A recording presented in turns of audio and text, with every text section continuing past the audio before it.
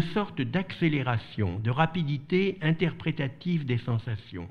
Cependant, au travers de ces errements, il reste subjugué par la persistance de quelques épisodes incertains de ses voyages, à la fois troubles et précis, et semblables aux paysages de rêve et aux réminiscences des souvenirs de la première enfance. C'est ainsi qu'il garde la vision d'une bourgade des marches. Au retour du Monte Catria après un terrible orage alors qu'il s'était arrêté sur la place austère de cette petite ville et qu'à la lumière du soir, toute une société d'hommes et de femmes noirs se trouvait réunie autour de la fontaine publique et sous les arcades, semblables dans leurs vêtements et leurs tenues à toutes les images qu'il avait conservées de son lointain passé dans ce pays. La seconde image est encore plus troublante. C'est la vision d'une jeune fille penchée sur une fontaine afin d'équérir de l'eau. La fontaine et le puits est surmonté d'une construction rectangulaire avec un fronton décoré de sculptures antiques.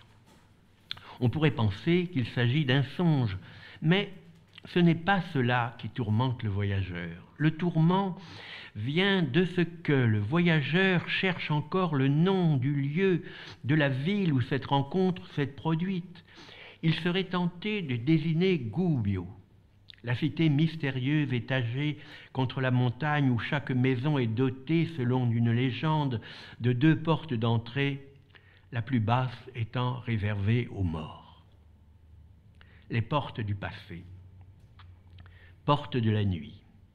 Il se produit alors une transmutation de l'esprit du voyageur métamorphose de l'obscurité et même de la noirceur qui viennent doucement s'éclairer d'une lumière chaude en ce milieu du jour, à cette heure solaire, dans les contrées de la Toscane et de l'Ombrie, Umbria, comme si les humains et les animaux et les pierres participaient à la magie de l'esprit du lieu. C'est ainsi que le voyageur avait la sensation que cette mémoire, avec ses fixations, devenait à mesure plus réelle, plus tangible, plus, vraie que la réalité elle-même qu'elle pensait avoir rencontrée. À la vérité, il avait longuement erré dans les montagnes et les collines, à la recherche du passé, des vestiges et traces de civilisation de peuplades qui avaient habité là et qui s'étaient agglomérées comme enfouies dans la terre et les villes et le sol par couches successives, avec des monastères en ruine, des tombes étrusques, des chapelles minuscules protégées par des grillages et des tôles près de la cour de ferme à proximité d'élevages de pintades criardes. Il était entré dans les bâtiments de propriété agricole avec des bêtes dans les tables afin de découvrir d'antiques architectures dissimulées dans les logis, accessibles par des escaliers secrets, les portes ouvertes avec de grosses clés rouillées. C'est ainsi qu'il s'était trouvé presque par hasard sur un chemin de campagne d'une couleur ocre à proximité d'un cimetière à Montarchi tout près de Borgo San Sepolcro, par un jour d'été, devant cette petite construction qui abritait la Madone del Parto. Le voyageur vient de comprendre tout à coup l'origine de, son malaise. En vérité, la petite Madone del Parto n'est plus dans cette cabane qui ressemblait à une hutte de charbonnier.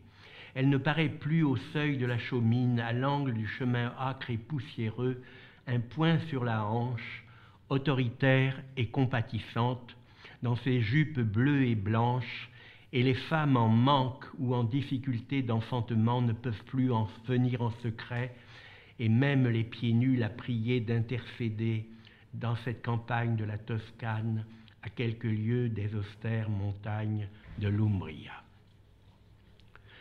De toutes les façons, La Madone del Parto est seule maintenant, loin de son origine, sous un dais luxueux, avec deux anges qui ouvrent les rideaux d'une scène de son théâtre. Elle est ronde à présent, dans sa robe bleue fendue un peu sur le côté et longuement sur le ventre par une lingerie blanche où elle songe d'introduire sa main droite. Mystère du geste décidé de la main, de la courbe de l'encolure discrète autour des épaules, de la coiffure soignée, mystère dans le regard baissé, les yeux noirs, la bouche charnue légèrement amère, la forme de son corps aussi juste que les proportions de la peinture elle-même. Elle pense admirablement dans ses gestes et sa présence unique, comme si elle devinait intérieurement toutes les incidentes du destin. Elle conçoit la propre utilité de son geste et de son corps et toutes les conséquences de son histoire et de ses actes. Le poignet de sa main gauche est recourbé sur la hanche, incroyablement désinvolte. La main droite caresse cette fente blanche du linge sexué sur le ventre où elle songe à entrer avec de longs doigts entiers paysanne sans doute, mais remarquablement ordonnée. En vérité, déesse sûre de sa destinée, le regard baissé, ouvert sur la forme de la robe délacée. La maison, la façade de la maison de Piero della Francesca, via, Belle, via delle Agiunte à Borgo San Sepolcro me laisse dans un état de tristesse.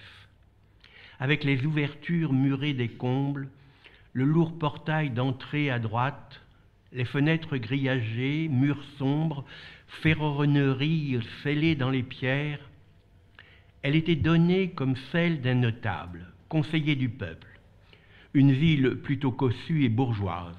Pourtant, à cette époque, elle me semblait dissimuler un mystère, un redoutable secret. On sait que la parentèle de Pierrot, cordonnier, corroyeur, fabricant d'étendards et de blasons, s'adonnait aussi au traitement du cuir. Ceux qui n'ont pas connu le convoiement et le commerce par les chevaux entre les villes, dans les villages et les bourgades ne peuvent imaginer le prestige et le rôle de deux figures tutélaires le maréchal Ferrand et le bourrelier.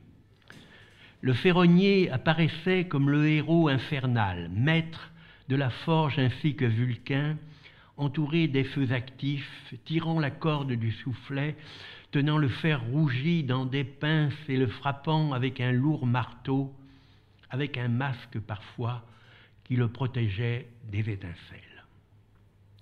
Le bourrelier, lui, collectionnait les grelots, les pompons, les plumes pour les mules, les rênes de cuir, tout un attirail de fouets, de selles et d'éperons, de harnais et de cordes suspendues aux poutres du plafond, dans un antre dépourvu sérieusement de lumière et d'ouverture vers l'extérieur du jour, avec cette odeur forte des peaux grattées qui séchaient encore sur des claies et des tréteaux, c'est ainsi que j'imaginais la maison de Pierrot avec l'atelier et le brasero qui brillaient dans l'obscurité. Nous étions dans la fameuse nuit du Moyen Âge. On sait ce que je pense de cette fiction du Moyen Âge. C'est en soi un raisonnement moyenâgeux, comme une régression, une manie de diviser le passé en tranches arbitraires. Je lui préfère la notion de paléolithique en souvenir de la cuisine de Joseph Delteil. Et je me suis vanté à mon tour d'avoir vécu dans ces temps primitifs.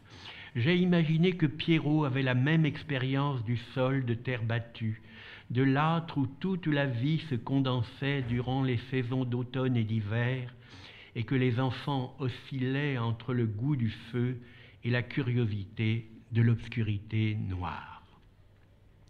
En ce temps-là, on savait que la nuit était la nuit et que sitôt sorti, on apercevait les étoiles et quelquefois la lune en croissant.